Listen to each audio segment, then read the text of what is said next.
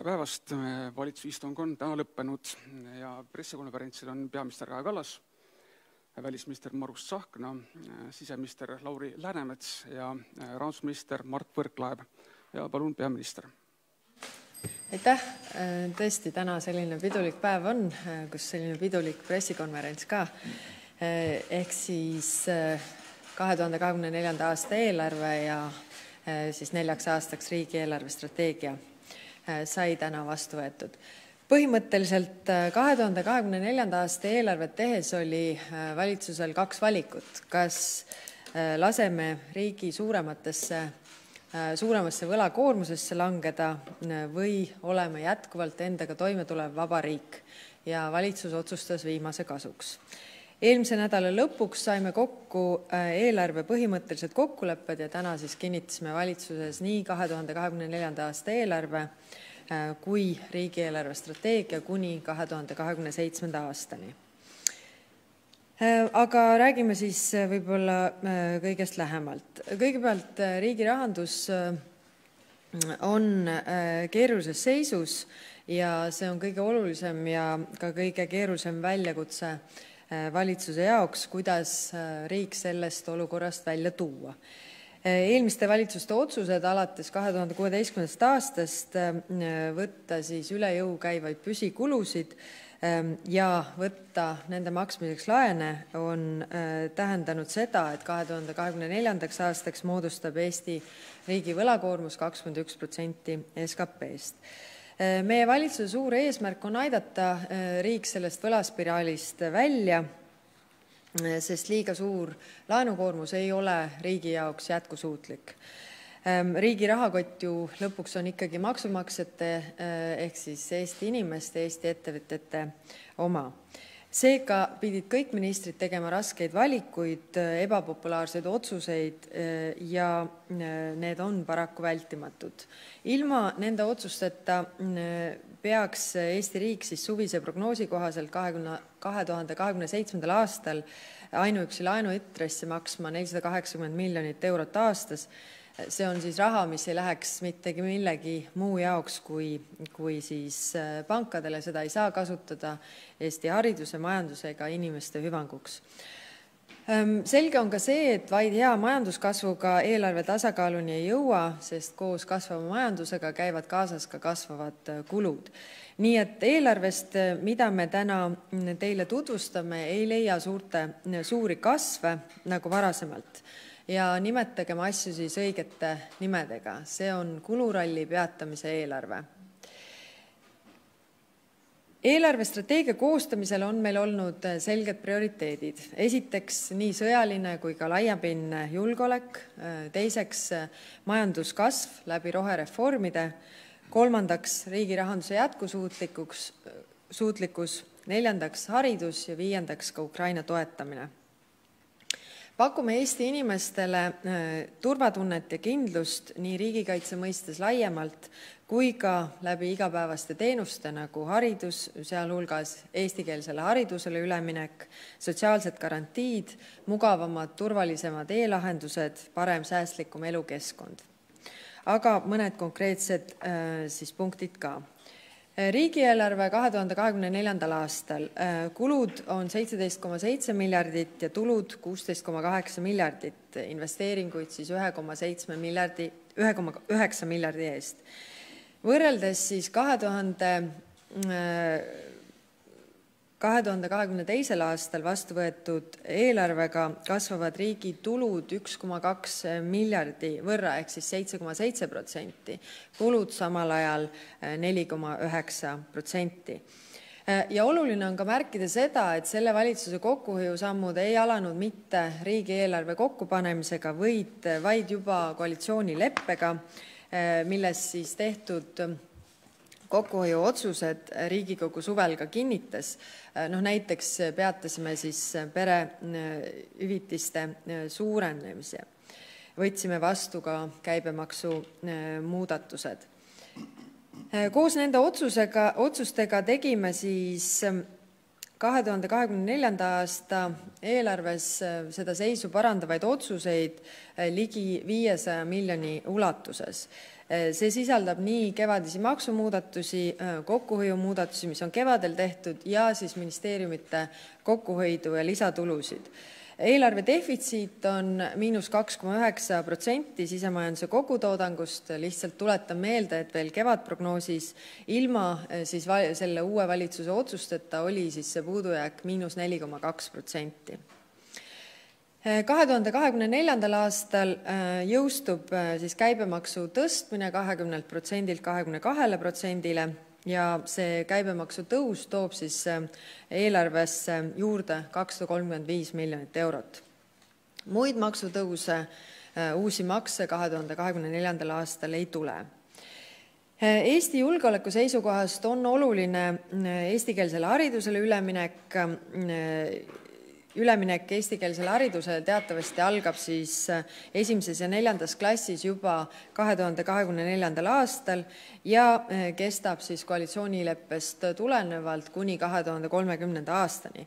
ja me suurendasime seda eelarvet 27 miljoni euro võrra ehk siis 2024. aastal on eestikeelsele haridusele üleminekuks ette nähtud 71,9 miljonit eurot, äh, sealhulgas siis välisvahendid hea hari, hariduse eh, pakkumisel on võtmeroll motiveeritud õpetajas, eh, seetõttu ka väga kitsastes eelarveoludes toimub ikkagi õpetajate palgatõus. õpetajate tööjõukuludeks on kahe tuhande kahekümne neljandal aasta eelarves ette nähtud viissada kuuskümmend üks koma üheksa miljonit eurot, mis kasvab siis kahekümne viie miljoni euro võrra Koos diferentseerimisfondi kasvuga äh, suureneb õpetajate arvestuslik äh, keskmine palk 4,3% võrra.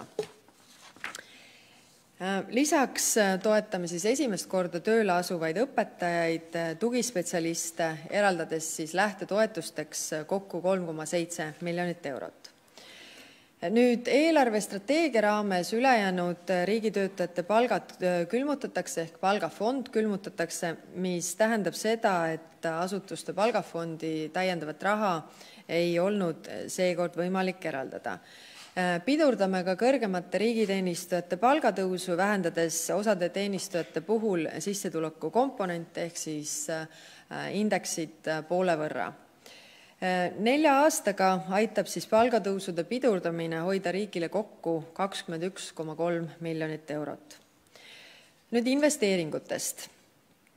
me äh, kahe tuhande kahekümne neljanda aasta eelarvega suuname märkimisväärsed summad ka investeeringutesse, millega ellu viia rohereforme ja käivitada majandust äh, julgeoleku tagamise kõrval suuname siis kahe tuhande kahekümne neljandal aastal majandusse üks koma üheksa miljardit eurot Äh, investeeringud lähevad ehitusse, taristute arendamisse, aga ka põllumajandusse, rohereformide elluviimisse, digiarendustesse.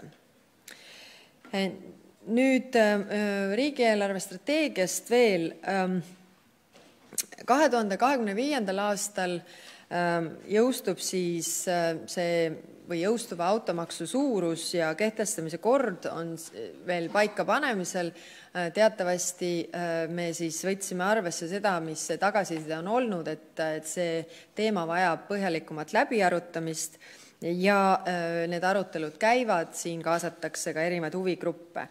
sama on ka siis niinimetatud limonaadimaksu ehk siis magustatud jookide maksu puhul järk-järgult äh, tõstame hasartmängumaksu, alkoholi, mm, ja ainuüksi tubaka, alkoholi aktsiisi tõus peaks järgmise kahe aasta jooksul äh, tooma riigi tuludesse vähemalt kuuskümmend kolm miljonit eurot nüüd riigieelarve strateegiast rääkides, siis äh, ühe protsendi ulatuses sisemajanduse kogutoodangust ehk siis neljasaja miljoni Ehm, euro ulatuses peame me leidma veel täiendavaid tulusid, ehk meil oleks vaja siis täiendavalt teha niinimetatud julgeolekumaksu see on täna alles kokkupanemisel, seda eh, saab arutada, mis see baas on, mille pealt seda maksu arvestatakse. aga mida ma tahan rõhutada, on see, et selle maksu eesmärk on rahastada riigikaitset, sealhulgas sisejulgeolekut, elanikkonnakaitset, ehm, investeeringuid IKT-sse ehk IT-arendustesse erinevate hübriidohtude, küberrünnakute, vaenulike mõjutuskampaaniate vastast kaitset, aga ka eestikeelset inforuumi, eestikeelsele haridusele üleminekut, samuti elukriitiliste teenuste nagu side, elekter, vesi, transpordiühendused, varustuskindluse tagamist ja kriisikindluse suurendamist. samuti on siis oluliste eluks vajalike teenuste nagu tervishoiu, sotsiaalhoolekande, muude kriitiliste teenuste toimepidevuse suurendamiseks vaja täiendavat raha.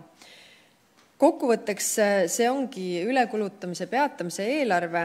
ma saan aru, et, kõigil on niigi keeruline, aga Eesti tulevikule ja meie riigi rahanduse jätkusuutlikule mõeldes ei ole võimalik sellel valitsusel paraku teha populaarseid otsuseid ongi ainult rasked ja valusad otsused, sest absoluutselt viimane aeg on tõmmata sellele 2016. aastal alustatud ähm, rallile pidurit. Äh, meie eesmärk on, et Eestis oleks turvaline elada, inimeste heaolu oleks kaitstud, äh, majandus tõuseks ja kõik Eesti elanikud äh, saaksid kvaliteetset eestikeelset haridust. ees seisvad rasked aastad, aga see on para-, paratamatu ja oluline tuleviku jaoks Äh, ma olen väga tänulik kõigile, kes kaasa aitavad ja kaasa mõtlevad. lühidalt ähm, ka äh, teatud ähm, olulisemad eelarve prioriteedid valdkondade kaupa, meil vist peaksid olema ka mingid slaidid, mida mina isiklikult muidugi ei näe, äh, aga, ma loodan, et minu jutt ja pilt läheb nüüd kokku kõigepealt turvalisus, kaitstud riik, inimeste turvatunne. kahe tuhande kahekümne neljandal aastal esimest korda ületab kaitse-eelarve kolme protsendi piirid sisekogu, sisemajanduse kogutoodangust ehk siis kolm koma kaks protsenti, millele lisandub meie liitlaste vastuvõtmise kulu. investeeringu suurendamine julgeolekusse on Venemaa ulatusliku agressioonisõja tõttu paratamatu ja möödapääsmatu Äh, siseturvalisuse tõstmiseks eraldab valitsus alates järgmisest aastast lisaraha keskmiselt üheksa miljonit eurot aastas äh, äh, muuhulgas siis selleks, et panustada politseinike järelkasvu. kokku saab lai riigikaitse, avar julgeolek nelja aasta jooksul lisaraha kaheksakümmend miljonit eurot. Eesti piiri kaitsmiseks ja idapiiri väljaehitamiseks eraldame kahe tuhande kahekümne neljandal, kahekümne viiendal aastal kokku viisteist miljonit eurot nüüd parem elukeskkond ehk siis Sotsiaalministeeriumi ja Haridusministeeriumi valdkond. Ehm, loome turvatunnet, kui pakume inimeste igas piirkonnas head haridust, eluks vajalikke teenuseid ja sotsiaalseid garantiisid. riigi südameasi on aidata kaasa perede eh, heaolule ja kasvule me toetame suurema abivajadusega lapsi ja peresid ning tõstame 2024. aastast elatisabi suurust 100 eurolt 200 euroni.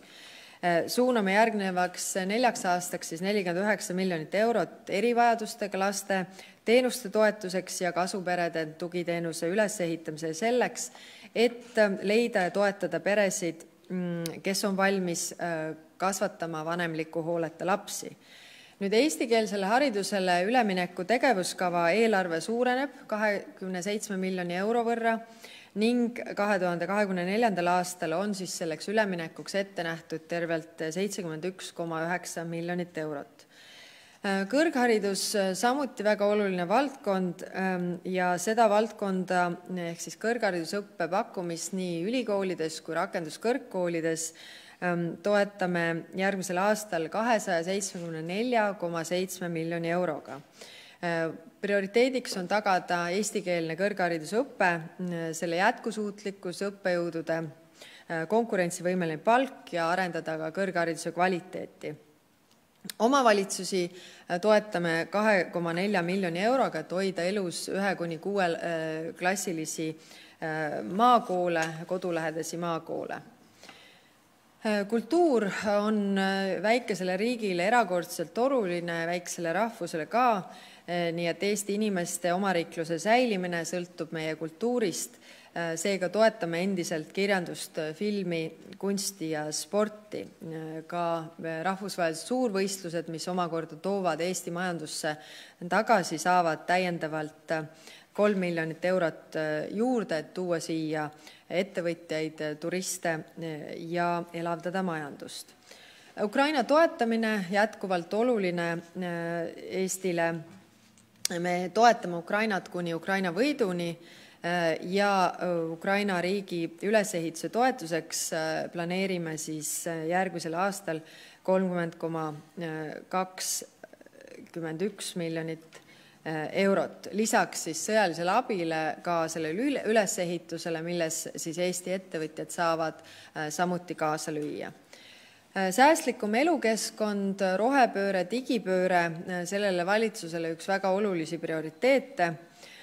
kõigepealt siis lihtsustame, kiirendame roheenergia tootmisega alustamist, et suurendada puhta energia pakkumist. Selle eesmärgi täitmiseks on 2024 kuni 2027 planeeritud investeerida circa 155 miljonit eurot. Muuhulgas siis panustame elektrivõrkude tugevdamisse ja uute liitumisvõimsuste väljaehitamisse.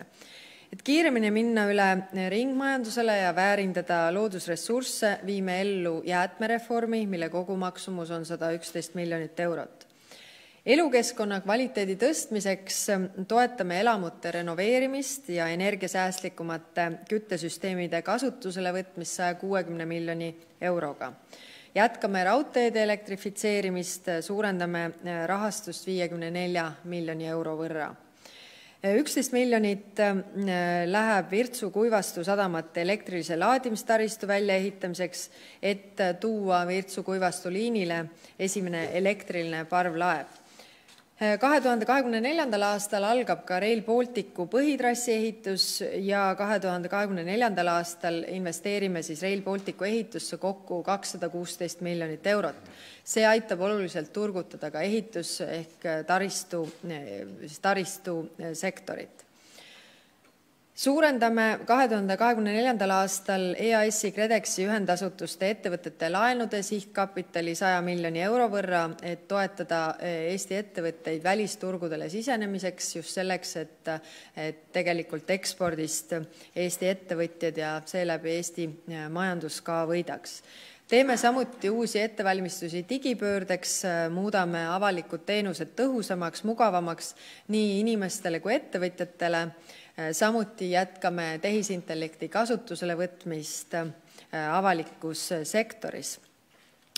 eelduseks sellele kõigele on korras IT alusteenused ja kõrge küberturvalisuse tase selle tagamiseks on plaanis investeerida 2024. aastal täiendavalt 23 miljonit eurot äh, kõikidest äh, teemadest siin ei jõua rohkem rääkida, aga ma usun, et, et ministrid saavad oma valdkonna teemasid ka ükshaaval järjest äh, tutvustada, äh, kui me saame riigieelarve ka Riigikogule homme üle antud, aga minu poolt kõik, aitäh!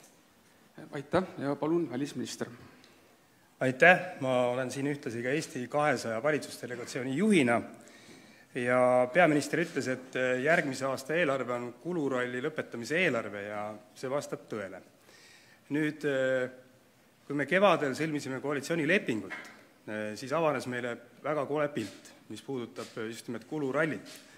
ja see kuluralli algas kahe tuhande kaheksateistkümnenda aasta eelarvest pihta ja on kestnud siis kuni tegelikult selle eelarveni, mis tehti ennem valimisi ja kõik erakonnad, ka need opositsioonierakonnad, kes täna on väga kriitilised, on sinna kulurallisse oma panuse pannud. nüüd see valitsus äh, on pidanud ja me oleme teinud need valusad otsused, et kuluralli lõpeks ära. ja mul on endal kogemus kahe tuhande kaheksandast, üheksandast aastast, siis, kui oli majandus- ja finantskriis, kui te mäletate. ja täna ma vaatan ka, et minu toonased kaaskärpekrokodillid võtavad juba sõna ja ütlevad, et valitsus ei piisavalt, et toona tehti rohkem ja tõepoolest tehti väga olulisi kärpeid, aga tehti ka reforme. mina olen nüüd siis siin valitsuses tagasi ja ma võin öelda, et see olukord on tegelikult palju keerulisem, kui oli kaks tuhat kaheksa-üheksa. tookord oli nõndamoodi, et äh, ei eelnenud äh, mitmete erinevate valitsuste kulurallit, vaid suudeti hoida eelarvet enam-vähem tasakaalus. meid tabas lihtsalt äh, ülemaailmne finantskriis koos majanduskriisiga kus meie skp kukkus poole aastaga ikkagi põhja ja tööpuudus tõusis üles. täna seda probleemi otseselt ei ole. teine on see, et toona eelnes majanduskriisile majandusbuum. palgad tõusid, kulud tõusid, inimestel läks hästi ja siis tabas meid see kriis, mis andis meile võimaluse ka teha tööturureforme, tõstsime pensioniiga ja tegime erinevaid muid ja väga valusaid kärpeid, ka avaliku sektori palgakärpe me tegime, kui te meenutate. Nüüd, kui me vaatame, kus me oleme tänaseks päevaks jõudnud, siis me oleme elanud ühest kriisist teise. meil on olnud Covidi kriis, meil on käimas, ma arvan, selle sajandi suurim julgeolekukriis, meil on finantskriis, meil on olnud väga kõrge inflatsioon, energiakriis ja kui me vaatame inimeste toimetulekut, siis kõige selle taustal tõusevad ka pankade intressid, protsendid, mida tuleb maksta ja see lööb meie ühiskonda väga kõvasti. Ja teine on see, et kahe tuhande kaheksandal aastal meie enda inimeste ootused ja ka riigivalitsejate ootused erinevate teenuste elustandardi järgi olid erinevad. täna me tahame elada sellist elu, nagu elavad Põhjamaal inimesed. aga mis on probleem, on see, et esiteks meil on see kuluralli peal olnud ja teiseks on see, et meie maksukoormus, aga ka meie tootlikkus ei ole Põhjamaadega samal tasemel. ja see tekitabki selle väga suure valu mis täna sellel valitsusel on. Nüüd kõik need erinevad riskid on tänaseks realiseerunud, et meil ei ole võimalik selle valitsusega enam mitte midagi ära peita või oodata, et äkki tulevad paremad ajad, äkki tulevad järgmised valitsused, et äkki peaks, ja valimised, et äkki peaks selleni vastu ja peidaks selle valu ära. me oleme otsustanud ja siin on tunnustus kõigile koalitsioonipartneritele, et vaadata sellele pildile täiesti ausalt ja jõhkralt silma. Ja teha erinevaid otsuseid nüüd, millised need otsused siis on, et peaminister selgitas väga selgelt, et mis on järgmise aasta eelarve seis, järgmine eela- e,, e, järgmise e, aasta eelarve seis on nii-öelda kontrolli all, aga nagu te mäletate, paljud tahavad juba ära unustada, et sellel kevadel ja varasuvel langetas Riigikogu väga olulisi otsuseid. me tõstsime käibemaksu, me tõstsime tulumaksu ja tegelikult me tegime ka teisi otsuseid, mis blokeerisid ka parlamendi tegevuse. nüüd, kui me räägime veel sellest kahe tuhande kaheksandast aastast lihtsalt paralleelselt, tookord ei olnud meil poliitilist kriisi. ma mäletan väga hästi, kuidas me leppisime kokku, et Eesti võtab suuna Eurotsooniga liitumisele, mis pani oma kriteeriumid. me ei saanud võtta laenu, me ei saanud, me pea-, pidime järgima inflatsiooni ja me pidime ära tegema reformid ja me leppisime selle kokku Riigikogus ka opositsioonierakondadega, tõsiselt täna needsamad erakonnad, kes on selle kuluralli üheks põhjustajaks, on blokeerinud parlamendi ja ma ennustan, et see menetlus, et teha riigi rahandust korda, saab olema ülimalt keeruline. ja see on juba järgmine teema, kuhu valitsus siis äh, peale eelarve üleandmist äh, süveneb. nüüd, mis siis on lahendused? meil on tegelikult kolm suurt suunda. esimene lahendus on see, et elada võlgu, rahandusministeerium on numbrid letti pannud ja see tähendab tegelikult sellise Kreeka teele minekut, see on võlaspiraal, nagu ka peaminister ütles, võtame rohkem võlgu, maksame rohkem intresse pankadele. me juba tegelikult, kui me vaatame neid prognoose, maksame üks protsent SKP-st eh, intresse eh, varsti.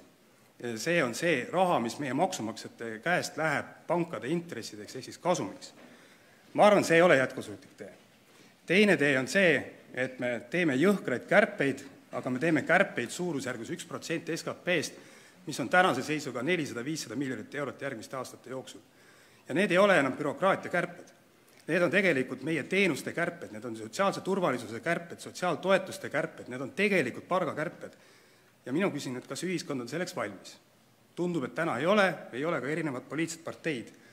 kolmas osa ja võimalus on see, et me vaatame otsa, kas me sellist riiki sellise tulubaasiga suudame üleval pidada tänane maksukoormus on suurusjärgus kolmkümmend kolm protsenti, oluliselt madalam kui Põhjamaades, on arvutatud, et suurusjärgus kolmkümmend viis protsenti on see maksukoormus kokku, millega suudaks üleval pidada tänaseks kokku lepitud riiki nende kuludega. mis on eriti tähtis ja mida ka peaminister rõhutas, on see, et me elame ka julgeolekukriisis.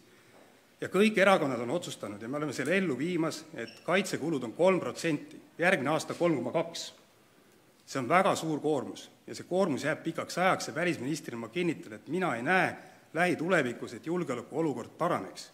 isegi siis, kui Ukraina selle sõja võidab meie kõigi toel. mis tähendab seda, et me oleme nüüd kirjutanud ka riigieelarve strateegia võtmes sisse ühe protsendi SKP suurusjärgus laiapindse julgeoleku maksu. aga oleme siin ka ausad, see on tegelikult sisustamata. me ei ole, me ei tahtnud teha kuskil Vihula mõisas või kuskil öösel mingisuguseid erinevaid makse, kas on habememaks või koeramaks või kassimaks, sest see ei ole jätkusuutlik. me tahamegi käivitada selle debati nüüd ühiskonnas, et eh, millist riiki me tahame, kui palju me oleme nõus selle eest maksma, või me elame võlgu, või me läheme tegelikult tegema veel jõhkramaid kärpeid. veel jõhkramaid kärpeid, mis tagab iga, mis tabab igaüht selles ühiskonnas.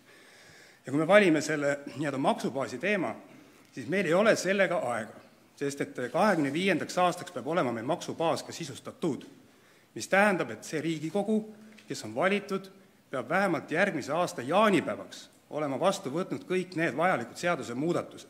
meil ei ole rohkem aega. nii et see valitsus praegu ei jää siia nüüd loorberitele puhkama, et me oleme saanud kahekümne neljanda aasta eelarve lukku, anname Riigikogule üle, vaid tegelikult me peame pidama ausat ja avatud debatti ühiskonnas väga raskete teemade üle mille ees me kõik, ka poliitikud, oleme silmad kinni pigistanud päris mitmeid aastaid. ja seetõttu ongi oluline, et, et keegi ei saa aru, et me siin kiidame oma tööd, see töö on väga jõhker ja valus, lihtsalt meil ei ole muid variante. me peame selle debati läbi pidama, seda debatti ei peetud enne neid valimisi, nii nagu ei peetud ka tegelikult debatti majanduskriisi üle enne kahe tuhande seitsmenda aasta valimisi, kõik lubasid igasuguseid asju kokku, aga tuli majanduskriis. täna me elame kriisis, meil on erinevad kriisid meil on erinevad äh, rasked olukorrad täna reaalselt laua peal. nüüd positiivse poole pealt, mis ma tahan öelda, et äh, parim investeering majandusse on haridus- ja teaduspoliitika ja see valitsus jätkab sellesse poliitikatesse investeeringut. kui ühtegi teist palgatõusu pole ette nähtud, siis õpetajad oma palgatõusu saavad, küll mitte selles mahus, nagu soovitakse, kuid ma kutsun ka õpetajaid ja nende eest seisjaid üles, et vaadake, millises olukorras tegelikult riik on teine suur asi on see, et me investeerime infotehnoloogia, infotehnoloogilistesse võimetesse, mida ka peaminister mainis. et me võtame e-riigi teenuseid väga iseenesestmõistetavalt, aga see vajab baasinvesteeringuid ja see valitsus on otsustanud sinna panna raha. ja mis on eriti tähtis, et kui veel kevadel visati nalja Eesti kahesaja programmiliste seisukohtade üle nulleelarve ehk siis eelarve revisjoni ja personaalse riigi ehk siis vajaduspõhiste teenuste üle, siis sellesse riigieelarve strateegiasse oleme need protsessid sisse kirjutanud. me peame need protsessid läbi viima, see ei too meile hõlpu, aga vähemalt maksumaksjad saavad aru, kuhu ja mille eest nende raha läheb. ja see protsess on pikaajaline ja ei too kiirelt mingit tulu, vaid pigem toob kvaliteeti teenustesse mõnede järgmiste aastate jooksul.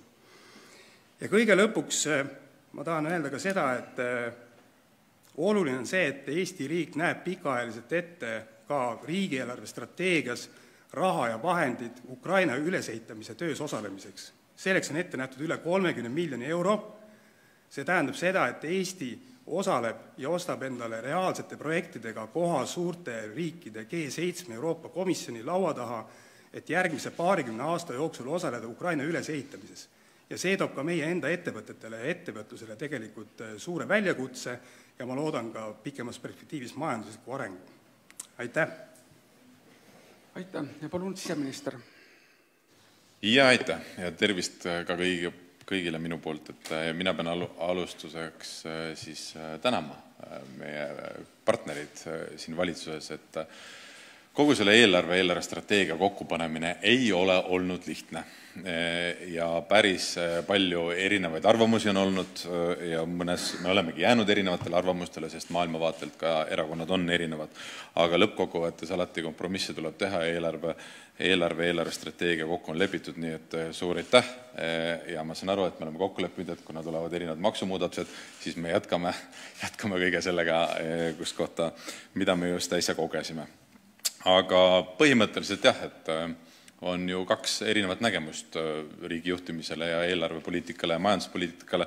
üks on see, et äh, me oleme üle kulutanud ja nüüd tuleb äh, püksirihma pingutada, jah, kokkuhoidu kindlasti peab tegema, aga on ka teine nägemus. ja ma arvan, täpselt sama õige. Ja see nägemus on see, et kui tehakse kulutusi, siis need tulevad alati kulud, tuludega katta.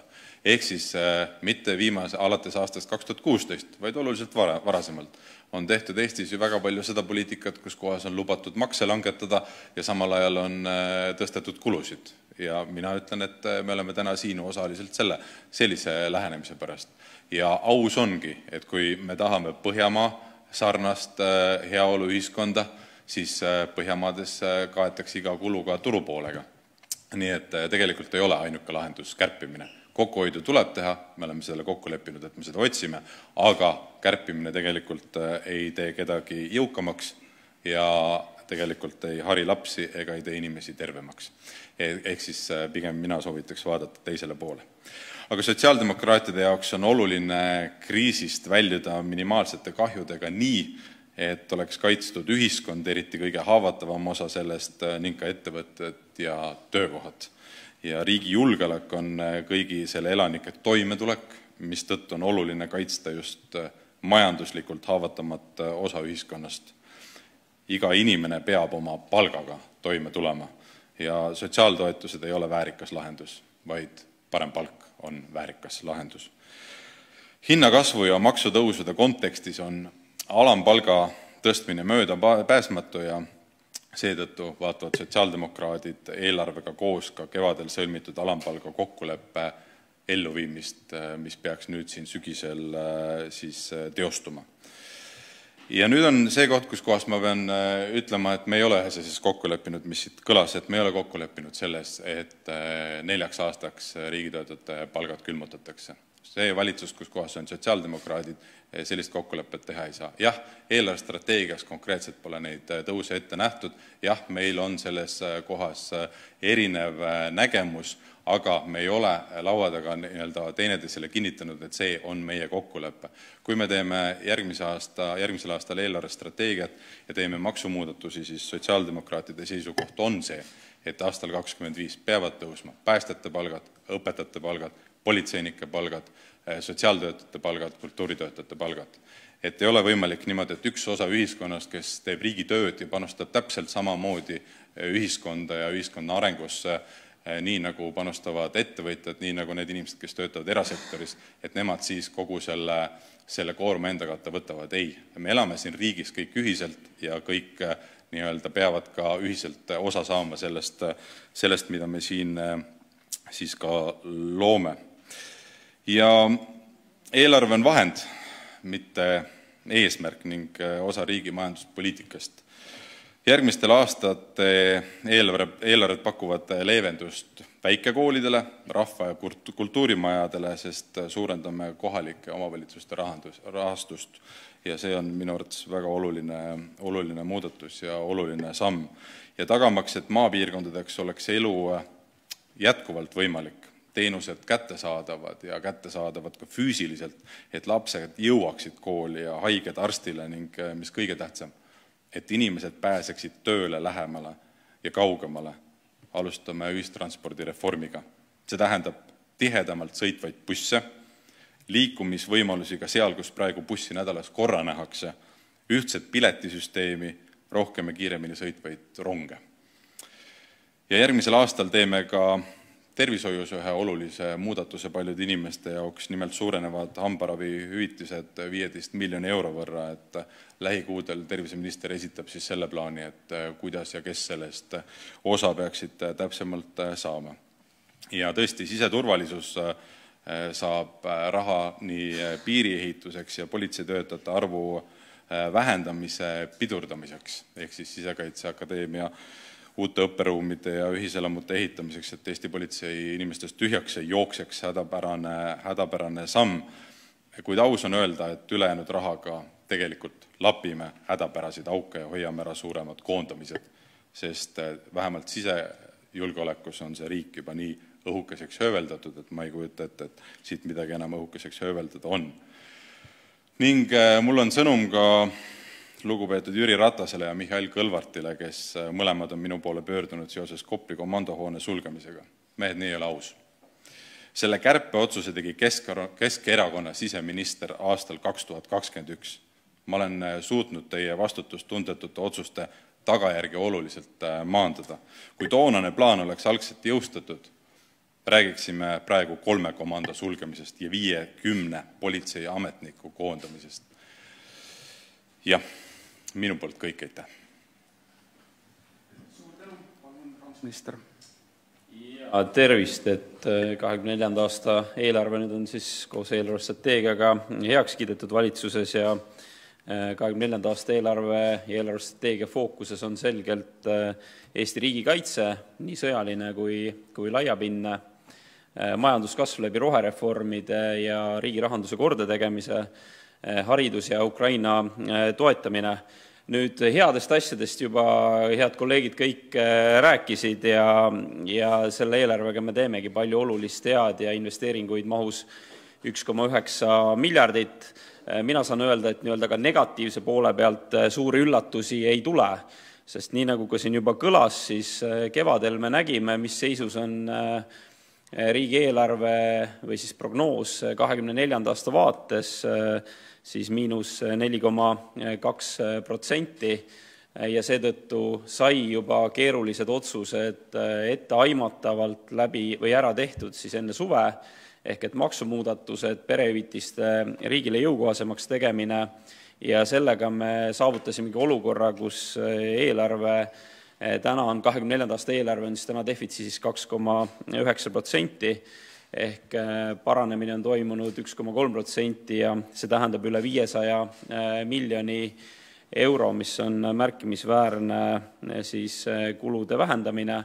samal ajal, nii nagu juba eelkõnelejate poolt öeldi, oleme me hädavajalikke investeeringuid ja kulusid teinud nii eestikeelsesse haridusse, laiapindsesse riigikaitsesse, riigi IT-süsteemide püstihoidmiseks ja küberturvalisuses eh, teatud haridusvaldkonna eh, palgaotsused ja loomulikult siis eh, suured investeeringud rohereformidesse, hoonete renoveerimisse, taristusse, raudteedesse, teedesse ja nii edasi. Kui rääkida nüüd riigieelarve mahust, siis tulude kogumaht on kuusteist koma kaheksa miljardit, tulud on siis kasvanud äh, võrreldes kahekümne kolmanda aasta eelarvega üks koma kaks miljardit ehk et seitse koma seitse protsenti.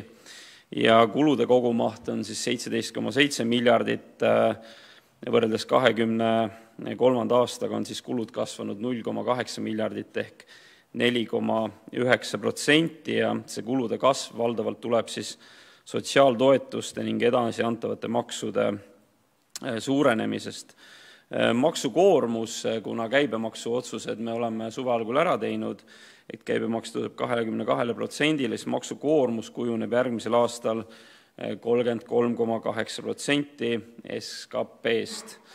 nüüd on juttu olnud ka siin meie suurest laenukoormusest ja see pilt, mis me nii kevadprognoosis nägime, Äh, kui ka suveprognoosis, et meie intressimaksed ainuüksi kahekümne seitsmendal aastal äh, liiguvad sinna neljasaja kaheksakümne miljoni juurde, siis äh, nende eelarveotsuste ja RES-i otsustega oleme me seda kulu vähendanud sada viiskümmend kolm miljonit ehk et suurusjärk kuskil kolmsada kolmkümmend miljonit tänaste plaanidega kakskümmend seitse aastal intressikulu on, ehk ühe aastaga päris kogu seda auku me korda teha ei, ei suuda nüüd eelarve siis äh, muutmisest, eelarvereeglid peavad olema riigile jõukohased ja siis aitama parandada riigi rahandust, äh, oleme siis äh, võtnud ette nende muudatuse, et viia nad kooskõlla ja lähtuda Euroopa Liidu reeglitest, mis tegelikult on ise piisavalt ambitsioonikad ja oleme ka pannud endale piiri, et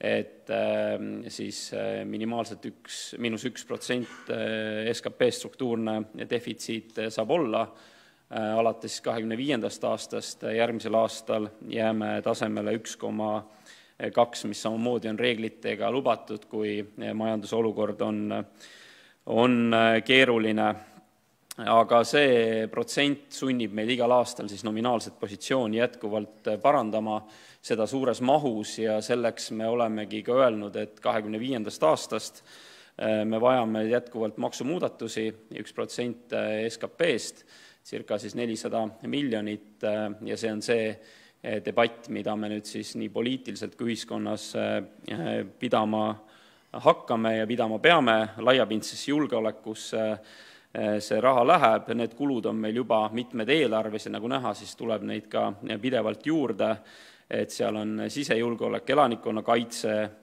eestikeelne haridus, haridusse investeerimine, kriisikindluse suurendamine, toimepidavuse suurendamine nii tervishoius kui sotsiaalkaitses ehm, ja veel palju muud. ja nüüd teine pool on ikkagi see, et lisaks maksumuudatustele peame me jätkuvalt tegelema kokkuhoiuga see valitsus on selle suve jooksul selgelt näidanud, et et suudetakse ka toimetada oma tegude järgi, ehk et nelja aasta peale kolmsada kuuskümmend miljonit siis sellist ministeeriumite tõhusamaks muutmist, kokkuhoidu on ministrid esitanud, sinna juurde siis lisandub seesama perehüvitiste jõukohasemaks muutmine. Ja ja oleme kokku leppinud, et kahekümne viiendast aastast siis eelarve revisjoni nulleelarve raames äh, peame me seda kokkuhoidu jätkuvalt tegema, aga aus on öelda, et see saab olema väga raske, sest et nendes suurusjärkudes, äh, sadades miljonites, tähendab see seda, et äh, ainuüksi nüüd siis selle riigiaparaadi õhu, õhemaks lihvimisest ei piisa, seda on kogu aastaid tehtud, oleme nüüd teinud ja, ja mõistlikkuse piires saab seda edasi teha, aga see puudutab igal juhul erinevaid äh, teenuseid nii vajaduspõhisemaks muutmiseks kui ka siis äh, riigina endalt küsimaks, et äh, milliseid teenuseid on vaja pakkuda ja millised on siis ähm, hädavajalikud meil teha. et minu poolt ka kõigile siis koalitsioonipartneritele ja, ja ka avalikkusele suur aitäh selle arutelu ja selle raske töö eest. Ja loomulikult äh, täna valitsus võttis eelarve, eelarvestrateegia vastu, äh, suur pingutus on vaja veel teha Riigikogus, loodame, et need debatid saavad olema seal sisulised, äh, sel aastal ei ole eelarves sentigi katuseraha, Riigikogus seda ka ei tule, ehk et suur võimalus on, et me Riigikogus saame keskenduda eelarve sisule, mitte siis nende katuserahade jagamisele, et ma arvan, see on ka suur väärtus omaette, aitäh! aitäh ministritele. Äh, nüüd palun küsimused. nagu ikka, öelge oma nimi, väljaanne ja kellel küsimus on. ja palun kasutage mikrofoni kindlasti. tere, Grete Puljuste Delfist. kõigepealt tahaks küsida selle nii-öelda laiapindse julgeolekumaksu kohta, et äh, jah, see läheb täna nüüd edasi arutamisele, on ikka veel lahtine, kust see tuleb äh, ja nii edasi. Aga kas saate ikkagi natukene täpsema pildi silme ette manada, et mida see endast kujutab, kas see siis ongi eraldi maks või ta ikkagi a la käibemaksule protsenti juurde või midagi taolist? ja aitäh nagu me siin kõik rõhutasime, siis me seda peamegi sisustama ja, ja arutama hakkama, et äh, praegu on nii, et äh, me saime kokku kahe tuhande kahekümne neljanda aasta eelarve ja kinnitasime selle riigieelarve strateegia, kus see uh, uue maksu uh, siis vajadus on sees. Nüüd, kui me saame ära menetletud Riigikogus riigieelarve, siis tegelikult samal ajal peavad meil juba käimas olema need arutelud, et mida see maks ikkagi sisaldama peab, kas me saame maksustada erinevaid, teha nii-öelda erinevaid väiksemaid või teha ühe suure ja, ja meil ei ole tegelikult seda aega rohkem kui kahe tuhande kahekümne neljanda aasta juulini neid arutelusid pidada. aga ei, mul ei ole praegu hetkel rohkem sellele sisu anda, et seda eh, me peame alles sisustama hakkama. Eesti kahesaja poolt nii palju, et eh, me panimegi selle numbri sinna ausalt kirja, see on üks protsent SKP-st, mis täna on tulude mõttes puudu. nüüd, nii nagu ma oma sõnavõtus ütlesin on kaks varianti. Kas sisustada see jõhkrate kärbetega päris teenuste pealt, milleks ma täna ei näe siin poliitilist konsensust kuskil ega isegi arutelu soovi, ma räägin laiapindselt, või teine variant, tegeleda tulubaasi poolega. ja selleks on vaja see avalik debatt ära pidada. mina ei toeta selliste pisikeste erinevate maksude kehtestamist, mis kogu eh, vaates eh, ei oma tervet arusaama, et millised nende mõjud on et kui me teeme selle debati läbi, et läbi, et kui palju me oleme nõus maksma selle riigi eest, mis meil täna on ja mis on selle riigi teenuste perspektiivid, siis tuleb rääkida ausalt baasmaksudest. baasmaksud laias laastus on meil seotud kas siis tulumaksu, käibemaksuga või teine variant, koalitsioon peab vaatama oma koalitsioonilepingusse ja kas me kaotame ära maksuküüru või maksuküür jääb alles, mille väärtus on suurusjärgus viissada miljonit eurot. maksuküüru äh, allesjätmine tähendab maksukoormuse tõusu täpselt samamoodi ehk siis sellest tuleb samamoodi aru saada. ja need on need debatid, mida mina ootan, et järgmiste kuude jooksul avalikult peetakse. me ei kavatse seda kuskil koalitsiooni tagatoas kokku leppida, vaid me tahame tõsiselt, et kõik osaleksid selles debatis ja ausalt arvutaksid, need numbrid on mitte väga keerulised, need on suured numbrid, aga need ei ole keerulised numbrid, et kui palju keegi on nõus maksma ja millist teenust tahetakse saada. aitäh! nii et maksuküüru kaotamise ideest loobumine on siis laual? Midagi ei ole täna laual, ma räägin, debatt on avatud. ei no see on võimalus. see on, see on tehtud, äh, see on juba tehtud ja äh, et selles mõttes äh, meil on neid arutelusid siin kogu aeg olnud, aga maksuküüru kaotamisega me oleme arvestanud ka just selles võtmes, et me tegelikult tööjõumakse ju sellega vähendame ja inimestel jääb rohkem raha kätte, see on kahe tuhande kahekümne viiendaks aastaks otsustatud, et, et siis tulumaksuvabastuse tõus koos selle maksuküüru ärakaotamisega tegelikult inimesi konkreetselt aitab ja jätab rohkem, raha kätte, nii et, et jaa, aga need arutelud laiemalt kindlasti saavad olema siin tulised. jah, arutelud tulevad, ma lihtsalt sotsiaaldemokraatide koha pealt ütlen selle loogika ära, mida me oleme varem ka öelnud, et vaesust ei ole mõtet maksut-, maksustada, sealt riigieelarvesse raha ei tule, aga tulevad probleemid, ehk siis tuleb hakata teistmoodi sotsiaaltoetuseid jagama, see pole mõistlik, võimalik, kui me vaatame Eesti riiki, vaatame maksustruktuuri, kohad, kus kohas ilma probleemideta on võimalik makse tõsta, on tegelikult ettevõtlus, selles mõttes klassikaline ettevõtete tulumaks, astmeline tulumaks, maksuküüru kaotamine nüüd on loonud selle võimaluse, et järgmine samm astmeliseks tulumaksuks on väga kerge, selles mõttes ma arvan, ei olegi mõtet maksuküüru tagasi keerata, et tuleb normaalne astmeline tulumaks teha ja, ja, ja võib-olla veel noh, vaadata sinna varamaksude otsa, et see on see loogika, kust on võimalik võtta. aga seda, et me hakkame siis neile inimestele, kes lõpuks satuvad hätta, veel makse juurde panema, ma arvan, lihtsalt majanduslikult ja riigieelarveliselt see ei ole kuidagi nagu mõistlik. isegi kui ta kellegi jaoks ideoloogiliselt tundub õige, siis nii-öelda riigi enda mõttes ja riigi kulude mõttes ta ei ole mõistlik. Aitäh, palun järgmine küsimus. jaa, tere, aitäh, Madis Indrel on Rahvusringhäälingust. mul on kaks ka tuluküsimust. kõigepealt siseminister Lauri Läänemetsale ma vaatan siit RES-ist, et kahekümne viiendast aastast alates loodetakse koguda senisest umbes kuusteist miljonit eurot rohkem trahvikulu, trahvitulu. võrdluseks selle aasta eelarves on arvestatud ligi kaheksateist miljoniga. kas ma saan õigesti aru, et meie kõik, meie, teie hakkame nüüd kõigi rikkumiste eest kaks korda rohkem trahvi maksma, aitäh? ja tegelikkuses on niimoodi, et ega trahvimäärad meil pole tõusnud Eestis kümme aastat või rohkem. et selles mõttes me kaasajastame neid, et kui me võtaks hinnakalliduse ja selle loogika, kuidas need trahvimäärad kunagi tehtud olid, siis oleks see trahvimäärade tõus oluliselt suurem ja me valitsuses arutasime, et see ei ole mõistlik nii palju neid trahve tõsta, sest lõppkokkuvõttes trahv peab suunama nagu käitumist ka, mitte niimoodi, et inimesed jätavad selle maksmata. muidugi minu lootus on see, et see number ei täitu seal, see tähendab, et inimesed on oluliselt seadusekuulekamad, ei ületa kiirust, ei tee muid seaduserikkumisi, siis see number täis ei tule ja ühelegi inimesele probleemi ka ei ole. nüüd, mis trahvimäärade, jah, Siseministeerium on tegelikult see, kes viib seda poolt ellu, on ju, et Politsei- ja Piirivalveamet peamiselt. Lõppkokkuvõttes, millised trahvimäärad täpsemalt olema saavad, mida liikluskomisjon täpsemalt soovitab, et seda saab mingi aja pärast öelda justiitsminister, et, et kogu nii-öelda trahvipoliitika on tegelikult Justiitsministeeriumi teha, et et me oleme selle nii-öelda rakendamise poole peal, aitäh aga ma saan aru, ikkagi tuludega te ju arvestate, muidu nad ei oleks RES-is ju sellisena sees. jaa, nad on eelarves selliselt arvestatud jah, ja, ja ma ütlen, et veel kord arvestades, kui palju elu viimase kümne aasta jooksul kallimaks on läinud, siis seda sammu me trahvide tõstmisel ei olnud, ei olnud valmis tegema, et, et pigem oleks mõistlik, et ta natukene nii-öelda kaasajastatud saab, aitäh aitäh. Ja teine küsimus on rahandusministrile. Sotsiaalmaksu maksmise erijuhtude reform.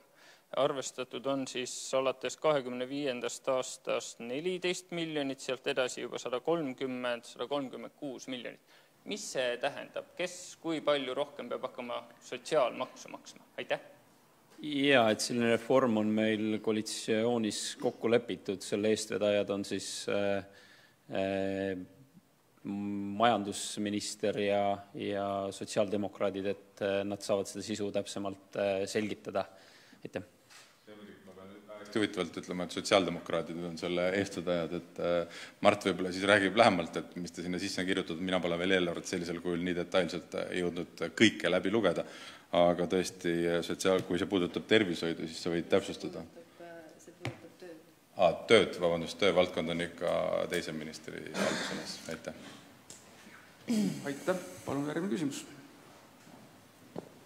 Tarmo Mats siin Postimehest siin käis äh, läbi äh, jutt äh, Riigikogu katuserahadest, et ma küsin siis niipidi, et mis saab nendest nii-öelda niinimetatud valitsuse katuserahadest, et kas, kas neid ka kuidagi kärbitakse või millal me saame näha, et milliseid tegevustoetusi ministeeriumid jagavad?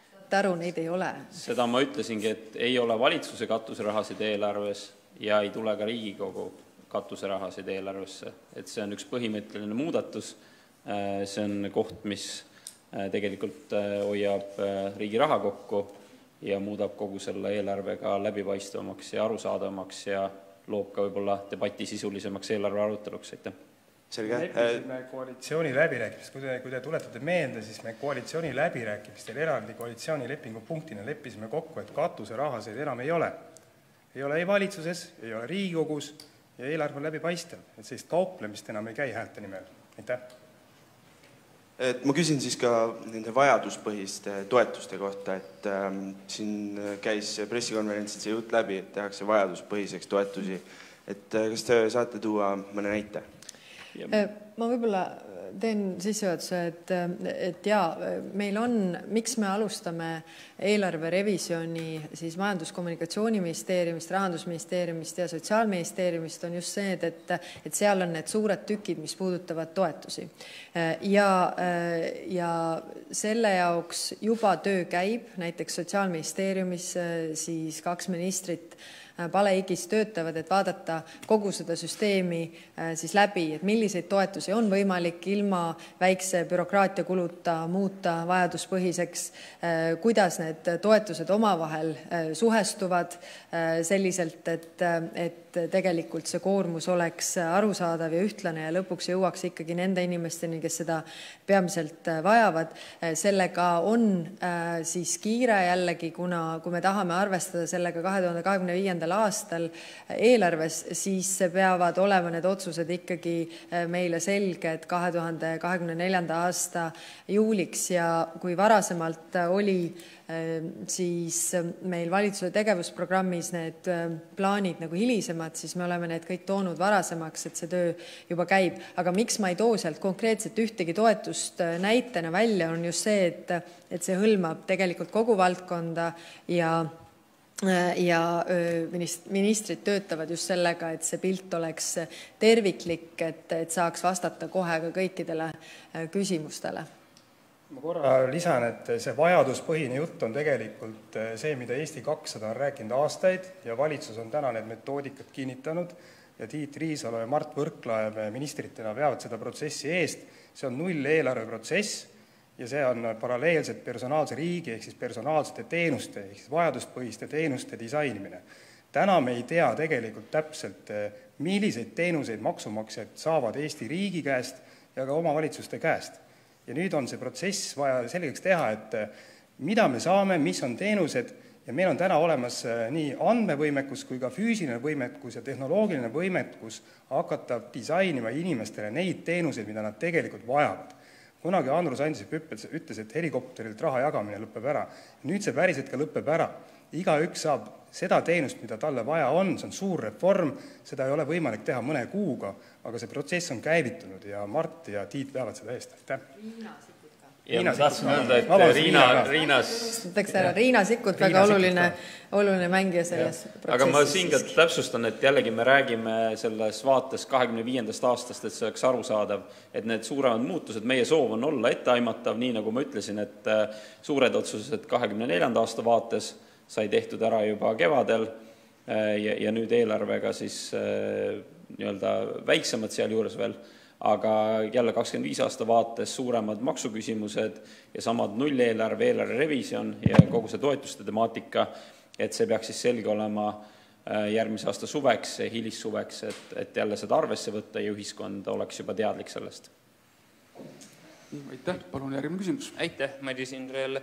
vaatasin veel sinna riigieelarve strateegia dokumenti peale ja, ja kui seni on räägitud, et see niinimetatud unistuste kärbe või äh, null, nulleelarve kärbe on sada viiskümmend miljonit, siis ma vaatasin kahekümne seitsmendaks aastaks, see mõju on arvestatud kakssada seitsekümmend viis miljonit, et et äh, olge hea, Kaja Kallas, selgitage, et kuidas, kuidas sai kokku see kakssada seitsekümmend viis miljonit, et kas sinna sama hästi oleks võinud kirjutada ka viissada või, või viis miljardit või äh, mis arvutus selle taga on, aitäh? Äh, selle, äh, selle taga on väga selge arvutus äh, lähtuvalt sellest, palju meil on ministeeriume. me alustame, nagu öeldud, kolme ministeeriumiga, Rahandusministeerium, MKM ja Sotsiaalministeerium, kus on kõige rohkem tegelikult raha, toetusi. seetõttu see esimene aasta ongi seal sada viiskümmend miljonit.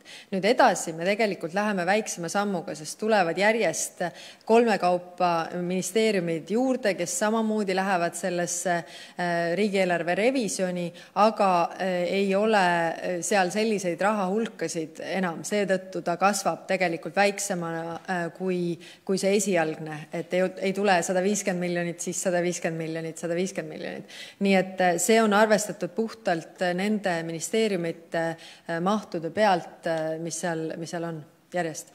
aitäh ja teine küsimus on siseminister Lauri Läänemetsale. Teie, teie ütlesite, et teie ei ole nõus selle riigitöötajate palgafondi külmutamisega neljaks aastaks. vaatasin riigieelarve strateegias, on, on see ikkagi sees. et olge hea, kirjeldage seda protsessi, et kus äh, te siis laua taga ütlesite, et, äh, et ei ole nõus ja siis äh, öeldi, et aga paneme ikkagi kirja, et siis tulevad kulud-tulud tasakaalu või kuidas see kuidas see lõpuks ikkagi sinna RES-i sai, aitäh! jah, ega ta ei ole RES-is sellisena kirjas te vaatate seda rida, ma seda kommenteerisin ka, et see ei tähenda, et palgatõus ei tule kahekümne viiendal aastal, sest kahekümne viiendal aasta eelarvet me järgmisena teeme. Ja kui me hakkame nüüd nendest maksudest rääkima, siis need selle võimaluse peavad pakkuma. ega lõppkokkuvõttes ei ole selles riigi eelarvestrateegias, vabandust, kirjas ka teede raha tõusu, meil on seal ka väga kriitiline seis, seda, mida on vaja, nagu kahesaja viiekümne miljoni või, või, või kolmesajani, seda ei ole seal, tegelikult seda me peame ka arutama, kuidas see sinna tekib. seal ei ole kirjas täna ka seda, et sada sada viiskümmend miljonit on tervishoidu kahekümne viiendal aastal juurde vaja. Ja seda tuleb ka arutada. Ja need kõik asjad seisavad ees ühes sellega, kui me hakkame seda eh, maksudebatti arutama.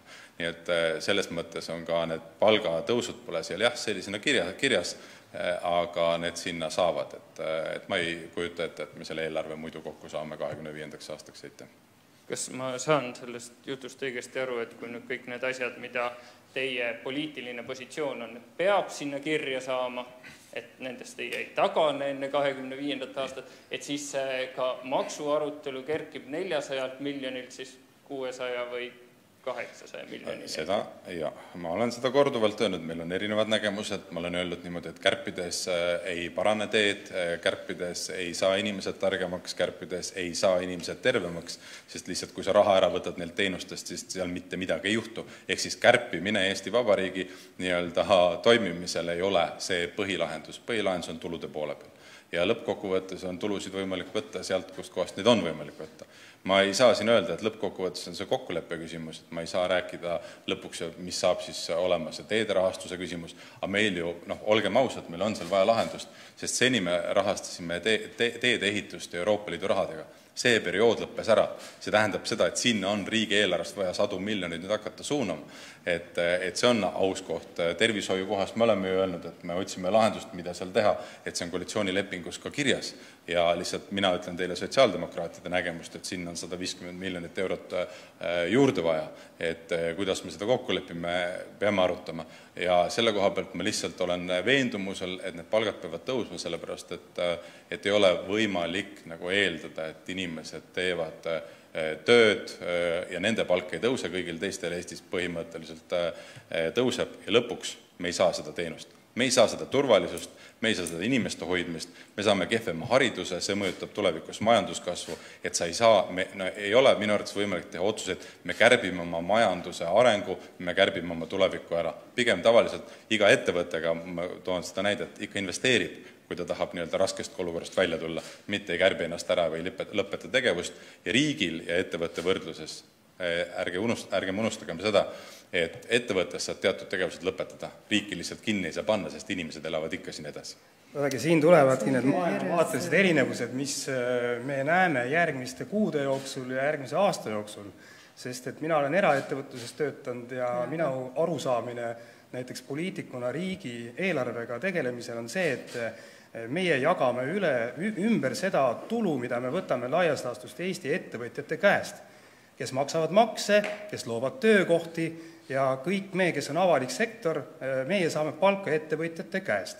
ja nüüd, kui maailmavaade ongi, et lähme võtame ettevõtjatelt raha ära, võtame kasumid ära, Eh, sellepärast, et need kuuluvad töötajatele avalikus sektoris, siis see ongi maailmavaateline lõhe. aga ma huviga ootan, Lauri, mina saan sinu murest ka aru, meil ongi maailmavaateline erinevus, muidu ma oleksin sinu erakonnas või sina minu erakonnas. aga meil tuleb väga tuline debatt ühiskonnas, väga tõsiselt, ja peamegi selle debati ära, kust raha tuleb, kuhu läheb tolm, kuidas komm saab moosi sisse? Ja nii edasi. Ja ma ka reageeriksin, et, et, et me ei saa ka oma inimesi ja ettevõtteid päris vaeseks maksustada. et see peab kindlasti olema nagu kogu aeg kuklas ja arusaadav ja selleks tegelikult me eelarvestrateegias olemegi öelnud, et me tõstame nii-öelda mõõdukalt, mis tegelikult on päris suur aste juba makse, ja teise käega peame ikkagi ka kokkuhoidu tegema et seesama näide, et kui me justkui peame ettevõtlust toetama, siis kui me tõmbame nad rahast tühjast maksudega, siis nad lihtsalt panevadki ennast kokku ja meil ei olegi kuskilt seda õnne õuele eh, tulemas, ehk et eh, ma ütleks, et selle eelarve ja eelarvestrateegia puhul ikkagi see tasakaal on eh, tähtis ja see koos sisustamine. nüüd, mis palgatõuse puudutab, et seal on küll RES-is nullirida, aga kahekümne viiendal aastal kõigil palgad tõusevad praktiliselt, sest et maksuküür kaob, keskmise palga saaja saab üle või sinna saja euro kanti kätte. ehk et tegelikult on see väga positiivne uudis, tööjõumaksud langevad, ettevõtete elu läheb mõnevõrra kergemaks, inimesed saavad eh, rohkem raha kätte. mis puudutab teede investeeringuid, siis samamoodi juba väike pingutus on eh, seal tehtud nii eelarves kui RES-is, eh, kui peaks meil minema paremini, siis loomulikult Eh, tahame teedesse juurde raha panna, aga seal vahemikus eh, kümme, kakskümmend miljonit aastate peale on täiendavalt teeinvesteeringuid eh, tõstetud, sel aastal suurusjärgus sada seitsekümmend miljonit riigieelarve vahendid, Euroopa rahad, kergliiklusteed läheb teede investeeringuid, ehk et see on oluline ja seda me teeme, lisaks ka raudteedesse sadu miljoneid. vabandust, ma pean ühe paranduse ütlema, et Margus Tsahkna sõnad või siis nii-öelda tõlgendus minu jutust nagu ei jääks siin äh, kõlama. ei, sotsiaaldemokraatide eesmärk ei ole kedagi vaeseks maksustada, ei ole. aga, aga nii, nii nagu see väide, et Eestist, ma ei tea, kui maksud tõusevad, ettevõtted võivad ära minna, siis äh, peab täpselt sama palju paika see, et inimesed võivad ära minna. et ei ole niimoodi, et on olemas äh, ettevõtjad, kes selle kogutulu toovad, ei, vabandust, ilma hea haritud oskusteta töötajata ei ole olemas ühtegi normaalselt tegutsevat ettevõtet. Me kõik ka... eksisteerime siin ühiskonnas koos, me kõik peame siia ühiskonda ka koos ühiselt panustama. ma teen ka pro-, protokollilise märkuse, ma pidasin silmas, et kuidas saab moos kommi sisse. aitäh. pidada terve aasta. aga nüüd võib-olla viimane küsimus, kui on kui ei ole, et siis ma küsin ise. et äh, kuna, kuna siin teede peale jutt läks, et siis äh, rahandusminister Võrk, Mart Võrklaev, et, et teie, ma saan aru, ikkagi vastutate selle eesootava tulumaksu arutelu eest, kui, või eesootava maksu arutelu eest, kui äh, rahandusminister, et mis on selle arutelu siis teekaart, et kuidas me kui, eh, kuidas te seda ette kujutate, kuidas te seda juhtima hakkate, mismoodi, eh, mis on selle etapid, millal ootate ettepanekuid ühelt, teiselt, kolmandalt, eh, kas nagu siin on seni öeldud, et kõik saavad panustada, kas tulevad külaväljakutel kaasamiskoosolekud, nii edasi, et kirjeldage seda protsessi, millisena te seda uue neljasaja või võib-olla oluliselt suurema maksu äh, siis kokkupanemist näete, aitäh! aitäh! Ma võin juba nagu üllatus öelda, et see kõik on alanud, nagu näha, nii siin kui tegelikult äh, teisel pool äh, kaameraid ja, ja neid laudu, et, et debatt on alanud, aga meil on teada see, et me peame need otsused tegema ära enne esimest juulit järgmisel aastal, kuus kuud enne peavad maksuotsused olema tehtud, ehk et sinna raami me nende aruteludega peame mahtuma. nüüd rahandusminister loomulikult hakkab seda eest vedama, nii nagu pea kõiki maksuteemasid ja kokkuhoiuteemasid, et see on selle töö suur võlu. et võtame nüüd eelarve, täna saime valitsuses ära kinnitatud, tuleb veel Riigikogusse ära kaitsta ja vastu võtta, aga paralleelselt, eks me igaüks oma erakonnas Äh, algatame need arutelud, siis lepime kokku nii-öelda tööprotsessi valitsuse sees, et kui detaile küsida, siis täna ei ole see kokku lepitud, meil on teada see aeg, millal see peab olema tehtud ja meie suur soov, nii nagu ma ütlesingi, on olla ühiskonnale etteaimatav, nii nagu me olime kevadel, suvel äh, etteaimatavad sügise mõttes ja nüüd täna siin, et on teada, mis kahekümne neljanda aasta eelarve teeb, toob, siis äh, seda me proovime ka äh, teha. kas see saab lihtne olema? kindlasti mitte nii, suur tänu ja sellega tõenäoliselt lõpetame. nägemist